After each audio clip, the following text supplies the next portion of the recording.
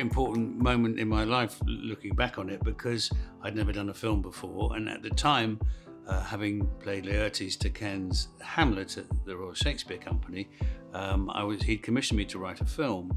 And he said, Have you ever been on a film set? I said, No, I just do theatre. And so he said, Well, why not come along and observe? I can give you a tiny part and um, you can at least see how a film set works. So I owe him a great debt.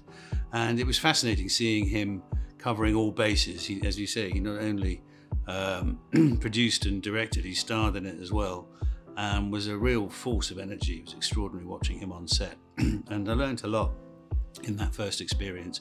Um, obviously, you know, watching De Niro close up, I just I only had a few scenes, but um, watching him the way he worked and rehearsed and uh, and the energy he gave the scenes. Um, I'd heard things about Hollywood stars sort of once the camera's not on them, sort of switching off and going back to their trailer and getting a stand in. He was absolutely there for, for the reverse angles, um, you know, fully fully dressed in his costume and giving you know a huge performance um, to encourage the other actor that he was speaking to. Particularly in this case, I remember John Cleese. Um, so he was uh, it was a great lesson, a great experience, and um, you know um, uh, one that I will always cherish. Yeah. And how did your experience with Kenneth Branagh like differ compared to what was he like as a director? Did it differ to how he was on stage with you? Well, you know, he was playing Hamlet, so and he was being directed as Hamlet. Um, I think what always has stayed with me is his unflappability. I mean, under especially when you think about you know trying to navigate a big budget film as it was in those days, um, and he had a lot on his shoulders, and and I've seen this with a couple of other directors, director actors that I've worked with. Uh, their sort of ability to trust the, the, the, other departments to do the best of their to give the best of their job. Um, so that you feel that people are being delegated and, and given personal responsibility around a film set is really important rather than a director who, who, claims that he knows everything and knows about everybody's every department's job. Trust them and they will give their best work. And and that was true also in, on stage with him. You know he was a terrific hamlet and, and great to work with. And it always comes from the top. If you've got a person at the top who is treating others with respect and kindness nobody else can you know throw their toys out of the pram. So he was a great role model Everyone would love to be in Bond, I'm sure, and you obviously got to have a small part in that. Uh, I wonder, what do you kind of remember from that experience in particular? I can remember my agent saying there's a film called Bond 18, uh, which, as it was imaginatively titled at the time, and so I went to meet Roger Spottiswoode, the director, and he said, "We're putting, I'm putting together the cast for this sequence at the end of the film where the Chinese Navy and the, and the British Navy are at loggerheads in the South China Sea." So I immediately had an image of myself in Thailand for three weeks, lying on a sun lounger and occasionally turning up for work. Not a bit of it. It was two days in a simulator in Portsmouth. Um, with a load of naval cadets who did did the job of, of uh, barking out uh, mission commands far better than uh, we could. Would you ever consider going back to Bond in some way? Oh, it's such, I mean, it's such an iconic franchise. I mean, um, uh, goodness knows how they're going to reinvent it for the next generation, but uh, I've got a Moneypenny in me. What sort of acting do you do? Films, mainly. Oh, splendid. Oh, well done. How's the pay in movies? Notting Hill is one of the all-time greatest rom-coms ever made, in my opinion, and lots of people's opinions, of course. Um, and you got to be in it as Bernie, which I think is one of your early roles where people described him as like, you know, a bumbling, likable character that you have played since. Uh, and I wonder, do you have like a favorite time or a favorite moment on that set when you're there with Hugh Grant, Julia Roberts, all that? It was a very happy time, and I can remember every day of it with real, you know, vivid clarity. I think because it was a happy experience um, having a, a, group of people led by you know Duncan Kenworthy, the producer, and Richard Curtis, uh, who wrote this glorious script, and uh, and Roger Michell, who was the late Roger Michell, who was such a wonderful director. I think I've got one particular memory. It's a scene that's not even in the film. It got cut. Um, of all of us walking down uh, Portobello, uh, in about six of us abreast, the group of friends, um, and uh, and I remember there was a, a, shopkeeper who started throwing eggs at us. They'd all been paid paid hassle money for the, having their trade interrupted for a few hours while we filmed. Nevertheless, this shopkeeper thought it would be hilarious to throw eggs. Um, he wasn't cross. He, he was just seemed to be just thought it might be entertaining. But that's sort of the character of Notting Hill for you, really, uh, as a place. Um, but I do remember it from a, from a filmmaking point of view. Is that after each take, Roger would come up to each of us and give each of us a note or an idea about how what we would how we were delivering the lines or, or, the rhythm of the scene, and he did it with such um, individual attention, so that the way he'd give a note to me would be completely different to the way that I don't know Gina McKee would take a note, or Tim McInnerny, or Hugh Grant, and um, just had this great capacity as a director, having come from the theatre, of knowing how to pull the faders up and down on each performance, and um, that was a great thing to observe, and uh, it was a very happy shoot. And we've got to talk about Vicar of Dibley. Like you were actually in one of Van's favourite episodes, the last episode. Um, and I wondered, what was it like to work with Dawn French, especially when she, at the time, is saying goodbye to such an iconic character? And people forget that Vicar of Dibley's only got something like 22 episodes or something, 21 or 22 episodes, and uh, of course became so beloved. And um, uh, the late and wonderful Emma Chambers was an old, old mate of mine from drama school, and we'd been on Notting Hill together and obviously Richard had uh, created the show. I'd worked with Dawn before on a thing called Murder Most Horrid, um, and I felt very honoured to come into that uh, wonderful, beloved group of characters just for that last episode, uh, and to play this sort of slightly dotty vicar um, who still had the hots for Dawn from from uh, uh, training college days. Um, and uh, in fact, one of my fondest memories was at the wrap party watching Trevor Peacock dancing with Emma Chambers, both of them now sadly gone, but uh, wonderful people. And, and again, you know, Richard created this this great world that people wanted to visit once a week or as often as they could in, in those shows. So um, I think it was his ability to as he said, as he described it once, I, he was talking about a sitcom I'd been in, which was a complete failure. And he said, the thing is about Dibley is that people want to go to that village. And if you don't want, as an audience member, don't want to be part of that world, if you feel that you're you're not actually invited into that world and that you, you could imagine spending an evening with those people, then you're on tricky territory. And he was absolutely right. So it's not necessarily likability, which is that word that gets bandied around a lot in sitcom, but there is a but you do want to spend time with these people in the in this place. And um, he created that magically, uh, and, and Dawn, of course, inhabited that role so superbly. All I've proved is that Lord Grantham would like us serfs to stay in our allotted place from cradle to grave. There is only one thing I would like, and that I would like passionately. It is to see you leave this house and never come back.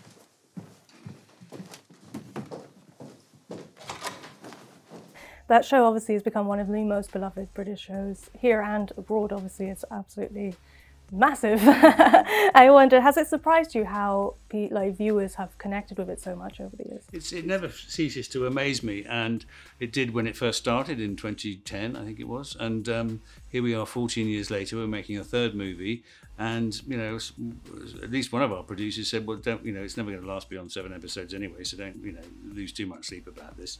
And here we are, all those years later, still together. Um, and what's been really interesting is there's a whole new generation of people watching it and, and still finding it engaging. Um, and also, what's been rather touching, you know, particularly over the pandemic when people were were stuck at home and, and they revisited a show that had finished, you know, five years before. Um, and uh, we've had lots of each of us have had lots of letters from people saying I used to watch it with my gran or my uh, my son is now married or my husband is now passed on or whatever. And it had an emotional resonance um, for, for, for, the period of time that it was on. And people find a comfort in it and, and, and revisit it like a warm bath. Um, and I'm not complaining because it's been a, a wonderful part of my life. And we're filming the third film at the moment. And it's a it's a lovely you know coming together of people I care deeply about. And that's just the fictional characters. and speaking of the third film, I really wanted to ask you, like, well, what can fans expect from uh, from the film? For my character, um, I think the usual, which is that he's a sort of um, uh, he's a sort of dinosaur trying to be led into the into the future, you know, reluctantly, and then eventually he stumbles forward a bit. So, uh, as always, there's that rhythm of things changing with glacial slowness. Um, and Robert finally accepting that uh, things, you know, it's time to, to, to move the story on, so to speak. Um, it uh, it's got the it's got so you know the, the usual tropes, if you like, of um, thrills and thrills and spills in a very Downton way, which means you know, spilling a teacup pretty much. Um, but uh, it's uh, I, I, think you know people who've watched the show over the years and have loved it will um, will yes while they'll miss Maggie Smith's presence. Uh, she doesn't step out of the shower, um, and it's all been a dream. Um, it's um, Uh, she is gone, but I think there's there's so much uh, warmth and, and, and fun to enjoy, um, and new elements as well, which I won't spoil. Um, that I think it'll be it certainly be the you know the best iteration of the of the film versions yet. I wanted to ask about Maggie Smith because obviously that was such a pivotal moment in the in the last film year. Like, what was it like for you and your castmates to to bid farewell to her character in a way, who's just this incredible matriarch for the, this whole time? Yeah. It was. I mean, she sort of had three exits from the show. There was the, the, the funnily enough, the dining room, the final dining room scene felt like a, a farewell because we'd spent so many weeks in, in over the years in, in that room. Um, and then there was obviously her death scene, and then there was her actual final scene, which was just a tiny little moment that I wasn't actually there for. But um, but the death scene really came home to me quite early on in the day because we took it took all day to film that um, that you know I, I was, this was the last time I'd properly have a scene with this woman who'd been my stage mum, as it were, my screen mum for all these years. Justice is often upsetting. I'd love to talk about Poirot as well because you got to be in arguably David Suchet's best episode as Poirot Murder on Orient Express, which is one of my favourites as well of his. Um, I wonder what stood out to you most about that special and, and working with him on that. Uh, well, a his performance. I mean, uh, you know, he's legendary for for for nailing that dialogue, as, as, as you know, in so so much of the structure of those. Uh, stories is the denouement where he, you know, reveals how he knows who who done it, and he was a it was a masterclass in in technique and and uh, quite apart from simple line learning, you know, these great stretches of dialogue or monologue that he had. Um, and again, you know, leading from the front, his um, his courtesy to all the characters, all the actors on set was was fantastic, and and it was just a wonderful ensemble of people. You know, uh, we had you know Jessica Chastain, David uh, Dave Morrissey, Sam West, um, Toby Jones, a, a wonderful uh, array of British talent, um, and superbly directed by Philip Martin. I thought. Um, so I think it stands up there uh, alongside uh, any of the uh, the big screen Poirots that there have been. Speaking of the big screen Poirots, I wanted to ask, would you ever be interested in working with your old friend Kenneth Branagh on his Poirot? Oh my goodness, I mean, I'd walk over hot coals to work with Ken, yeah, yeah, yeah. Uh, doctor, what's, what's happening to me? She can smell the blood on your skin. She's marked you for death. She? A demon out there in the ocean. Um, and obviously, uh, Doctor Who, which um, you got to be in that in such a fun episode with Matt Smith. I went you got to be a pirate of all things, which is such a fun thing to do in Doctor Who. Um, what was that like, especially working with Matt Smith, Steven Moffat, and Karen Gillan, who obviously you're reuniting now in Douglas Is Cancelled? Yeah, it was great. I remember we had a sort of read through, and it was the end of one of they were shooting a previous episode, and Matt and Karen came in looking absolutely exhausted because those days on, on set, particularly for Matt and the energy he had to bring to the role, was absolutely you know punishing. Um, and uh, we did the we did a sort of rehearsal read through and he absolutely again it's his leadership and his energy was exemplary um, and I realized then and there that I could never play Doctor Who because I'd never have that much energy or the capacity to retain so much uh, you know fantastical dialogue as, as, as he did um, but Karen and, and, and, Matt were wonderfully welcoming and we went and did a, a few I remember a few very cold nights filming on a ship down in, in Cornwall um, I think probably with rain machines and certainly with a bit of brandy at the end of the night to uh, try and keep us warm. But they were great. Uh, they were great hosts for a guest artist like me. London prides itself on its multicultural uh, multiculturalness. Uh, no, uh, uh, prides itself on its multiculturality. It came at such a great time because obviously it was leading into the 2012 Olympics. I wonder what was it like being part of a topical comedy series like that? It was quite interesting because there was a there was a a cynicism in the air that Britain was going to absolutely embarrass itself and not be able to do this. And so that was sort of the backdrop for 2012, the show, which was, uh, for those who didn't see it, it was a, it was a, um, uh, my, my character was leading a team just at the level below Sebastian Coe, uh, who was trying, you know, trying to administrate the organisation of the games, and what a what a cock up it was going to be because of course Britain can't do this sort of thing. And so it became this, fant- and of course, you know, those two weeks in August, and I was there. Um, I was there on Super Saturday. I got tickets in the ballot, and um, you know, it was probably the last time. I mean this seriously. The last time I felt that Britain felt properly united uh, and it was proud of itself for whatever that, you know, whatever, however you describe Britain, it was it was united at that point, and the pride of being in this city, uh, in this country at that time was palpable. Even um, Danny Boyle, Danny Boyle apparently said did you have cameras in our meetings? You know, because uh, he, I believe he took the box set away after, well after the event. He said he couldn't watch it during it. But uh, well after the event, he took the box set away and um, sort of cringed watching it, saying for some of it was too too close to home. But we are fortunate enough to be sitting at the centre of the greatest broadcasting organisation, arguably one of the greatest ideas in the world. BBC. BBC. Yes, exactly. You returned for W1A, um, and it is the BBC kind of poking fun at itself uh, in a way. So I wondered, what was it like working on that, but also you and Jessica Hynes leading a new ensemble cast in that? Uh, it's it, it's all down to really the credit is all due to, to John Morton who wrote and directed both uh, iterations, uh, and he has a very particular writing style. Um, uh, I think unlike the thick of it, which as I understand it, Armando writes and they and they shoot that and then they throw it open to improvisation, so that the finished version is a sort of mix of uh, improv and script, and uh, and that gives it this freshness. Whereas John writes absolutely like it's a piece of music and every um and er is scripted. So it's really, really hard to learn. And he'll, he'll just write yes or no, or yes, no, but. Um, uh, and, and there are so many different rhythms, and every yes or no has a different meaning, and it's it's very complicated to learn. And so we, so the the cast of uh, 2012 had, had uh, as you say, morphed into into W1A, and Jessica Hynes' character came too and um, so this, the new cast we, we, we you know we all bonded again. And and the way we bonded was that in in between each scene instead of going and sitting and having a cup of coffee and doing the crossword we sat there running the lines running the lines running the lines running the lines because uh, it was filmed at such pace and with such a, sort of delicate uh, scripted overlaps and that sort of thing that we didn't want to let John down, and um, so it became we became a tight little, almost like a theatre troupe, um, and we knew how to pick up each other's rhythms. But it was probably the most it's probably the hardest job I've ever done. We have your sculptor, Sergeant Walter Garfield. He's a good egg. I worked with him on the World War One memorial in St. Louis. Uh-huh. It'd be great to talk about the Monuments Men, obviously, with uh, George Clooney there directing. I wondered, you know, what was it like to work with one of Hollywood's biggest stars?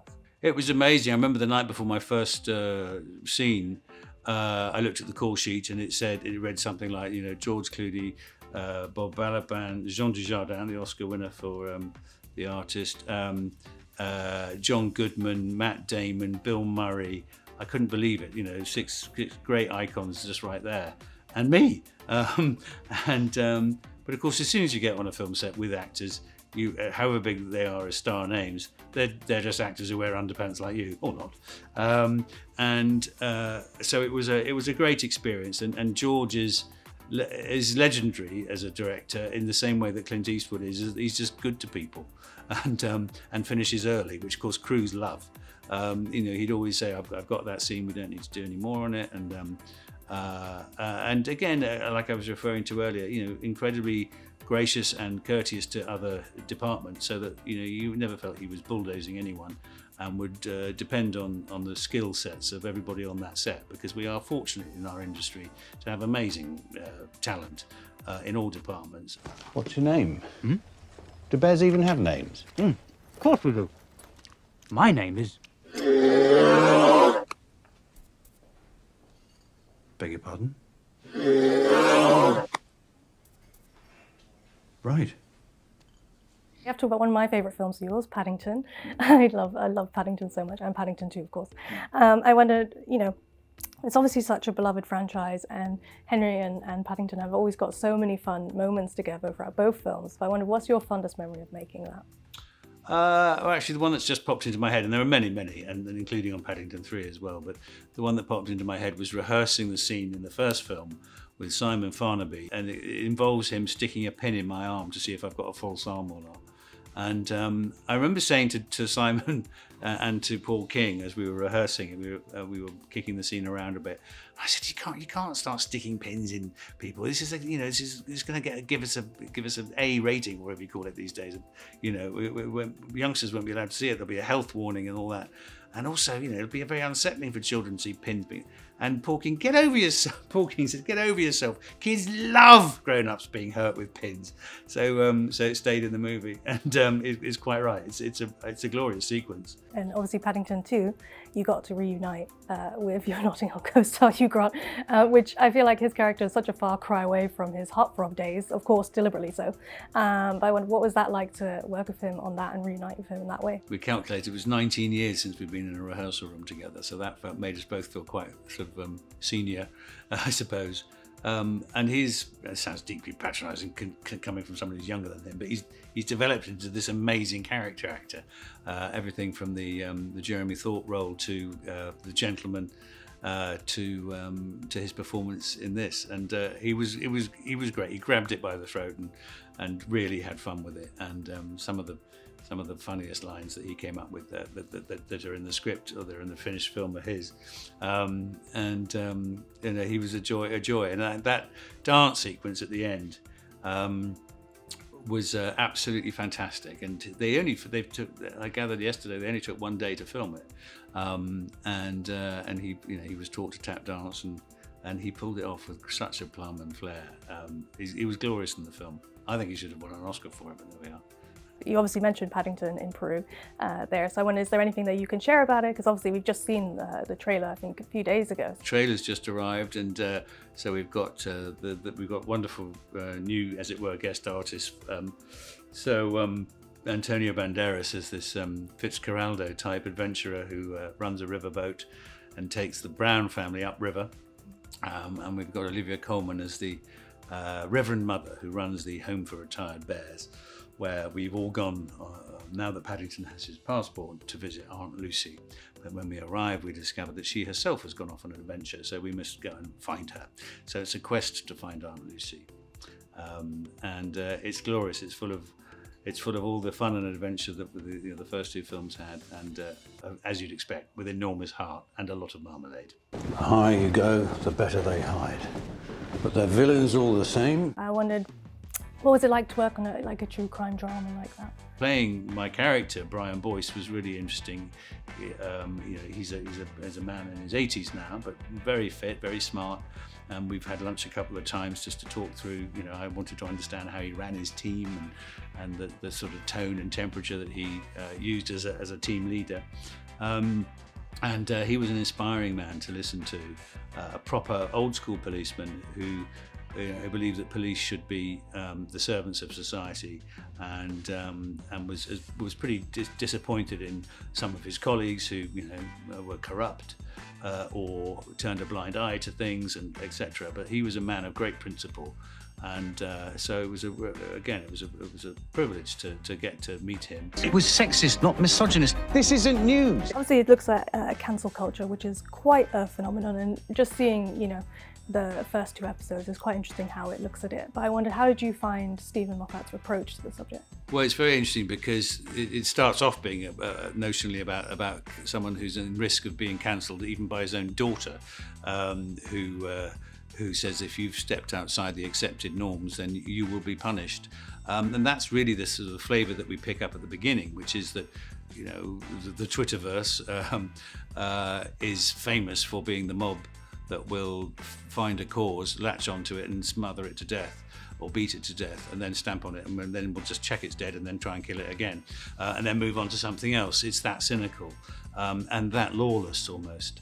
Um, so that's what you see in the first two episodes, you know, done with great comedy and uh, a sort of farcical situation that spirals out of control with my character, who uh, is a respected um, household name, you know, it's aided or so he thinks, or, you know, supported by his uh, his colleague on the sofa, uh, Knightley, um, played by um, uh, by Karen. And is she helping him or is she hindering him? You're not quite sure. And anyway, as the story progresses, it then turns darker and you realize there are other forces at work. And it shifts from being just about cancel culture to actually being about the, the nature of the workplace and, and the shifts of power in the workplace. We've seen, you know, Madeleine being quite powerful, even though my character is more, you know, long in the tooth and senior to her. Um, or more experienced than her anyway. Um, and then it gradually shifts as the story progresses, and the laughter sticks in your throat, and you realise that actually this is a competitive, ugly, dark world that, that she had she has entered, and there are perhaps reasons why she behaves as she does. Um, and it makes you ask questions about yourself, like all good satires do. You know, as I say, the laughter freezes, and you start to question your own attitudes. Um, you know, what would one do given the certain certain situations that are that are put in front of the audience, um, and what is the right thing to do? And it, it delves into the whole Me Too world as well, um, but through the prism of this uh, this uh, very publicly spotlit uh, environment of, of the two television presenters.